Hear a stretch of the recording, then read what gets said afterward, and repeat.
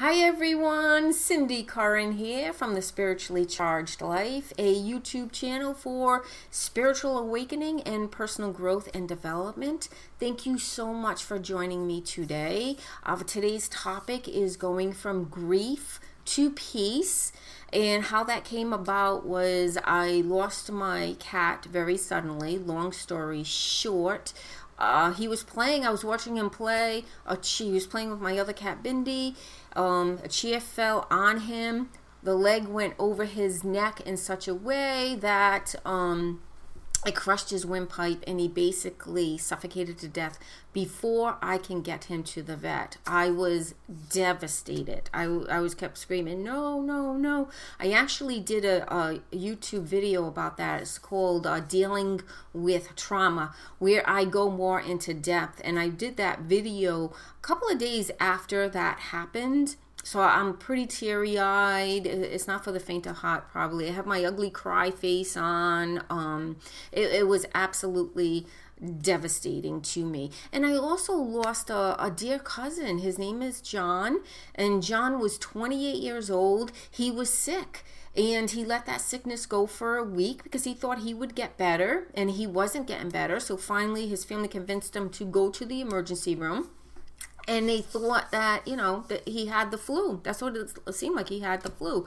So he gets into the emergency room and the doctors tell him there's nothing we can do for you. This is um, going to take your life. And um, they told him had he got in the hospital earlier on the onset they would have been able to do something for him, but he had some kind of pneumonia. It was the same thing that Jim Henson died, who was the creator of the Muppets. And he had this kind of pneumonia. And what happened was because he waited a week, it filled his lungs, and there was absolutely nothing they can do. I think it was like a, a few hours, a day or so later, he um, slept in a coma and he passed on. So the grief of his mom, especially and his brothers and aunt and stepfather um, is beyond um, beyond comprehension. I know what I did lose my cat, how shocking it was. I kept screaming, no, no, no. I was screaming so loud because he basically died in front of me. And my neighbors called the cops. The cops called an ambulance. I was hyperventilating. It was it was pretty ugly. So what I learned was one, I had to accept that my cat died. I couldn't accept it. Everybody that came in the house, the cops, there was like four cops. I asked each every every one of them to check the cat. Um, the pound came because they were going to take him, but I wanted to get him to the vet and um, have him properly uh, cremated and and I didn't want to just bury him out in the yard. I was afraid some wild animal might come and dig him up, and, and it's only woods out there, and it's very broody. Oh, it's a long story. I won't bore you with it. But anyway, so it was a pretty ugly scene. So I had to let go of the absence. In the case of my family, with John, you know, certainly their lives were totally disrupted and it is a whole different way of living. And they have to accept that. They, they haven't got there yet, and, and the grieving process takes time. Everybody does it on their own time, of course. But one thing that I learned was one to accept that it happened, even though my brain didn't want to believe it, even though I watched him die in front of me. It was just so sudden and just so shocking. So I learned that um, that when people focus on something or someone that they don't have and they know they can't have it, it makes them feel worse. And the more we focus on the absence of who we don't have, the worse we feel and we're caught on this this wheel this dilemma of wanting something we don't have and wanting it and it, it just doesn't work. So, what we want to do is reach for the next best feeling thought. For my cat, the thing that I had to concentrate on, and there's no particular order, and sometimes it would go back and forth, I had to tell myself, because it was a part of me that was feeling really um, like a failure to his life. I'm responsible for his life, and I, I failed him in, in my eyes in that moment when I was watching him die. And um, it was very hard. But the next feeling thought was, I was glad I was there. I was actually away. Um, my father was in the hospital and I was taking care of my mom who has Alzheimer's and I stayed overnight and I had just come home the day before and um, had I come home to a dead cat on underneath a chair, not knowing how long he was there, um, that I, I wasn't there, how long he suffered, how long he lived, you know, that would have been really playing a lot on my brain. So I was glad that I was at least home. I was glad I wasn't sitting in the chair and I was responsible. Thank God for that.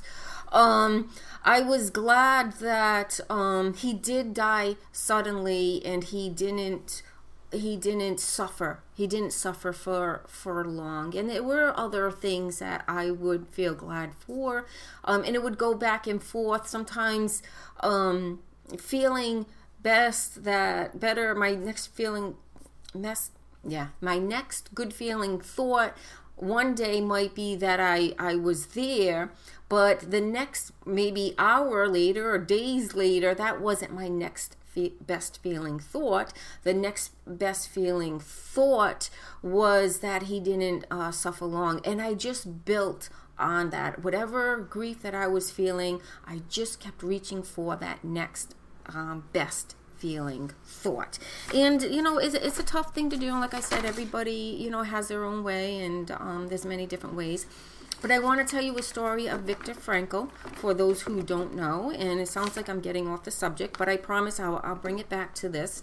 Um, I have lipstick on the corner of my mouth. It's like, oh no. But anyway, sorry. Um, Viktor Frankl was in was a Jew in the concentration camps. He lost his family. He was uh, newly married. In fact, his wife was pregnant, and um, everybody knows um, what happened with the Jews and Hitler and stuff. So he's in the concentration camp. He's separated from his family completely, and he's really missing his pregnant wife and you know he was saying they take everything from you. They take your clothes. They take your family. They take all your possessions. They tattoo you. Uh, they even shave your body. They shave your brows your hair even um, everywhere. If you have hair on your body they shave it off. The only thing the only possession he had was his body. He had nothing else. He watched people die. He didn't know from day to day whether he was going going to live or die or not just day to day moment to moment. At any moment his life his life could have been uh, snuffed out. He watched people being beaten. He was also beaten. So the concentrate he was starved. Uh, he just had rags for clothes. He had no um he had no nothing. He had basically was stripped of any kind of human dignity he had absolutely nothing. And he wrote this book, and it's called Man's Search for Meaning. And it's amazing an amazing book on how he survived mentally. He actually, after he got out of the concentration camp, he um, he actually became a psychologist, a very uh, famous psychologist, and I really highly recommend this book, A Man's Search for Feeling. But in this book, he writes this excerpt. He's in the concentration camp. He's being marched. I think it was early, early morning um, into like labor, which was very hard labor. He had uh, it was cold. It was damp he um i think he had or people around him had sores on their feet because their shoes either they didn't have shoes or they had holes in their shoes so they're they're they're raw their skin is raw they're in physical pain emotional pain every kind of pain you can imagine these people were in including Viktor Frankl. And he said the people that give up are the ones that die. So he never gave up. He held on to the next best feeling thought. And that next best feeling thought thought for him was the memory of his beloved pregnant wife who actually uh, did not make it. She, she, I think he found out after he got out that uh, she didn't make it. But in his book, he writes this. He, he's now he's marching in this with sores on his feet, and he's in all this physical, emotional, mental, spiritual pain And when he gets back to camp, he, he writes this and he puts this in his book. For the first time in my life, I saw the truth as it is set into song by so many pro. Yeah, I'm sorry. This is what happens when you do things live. You make mistakes.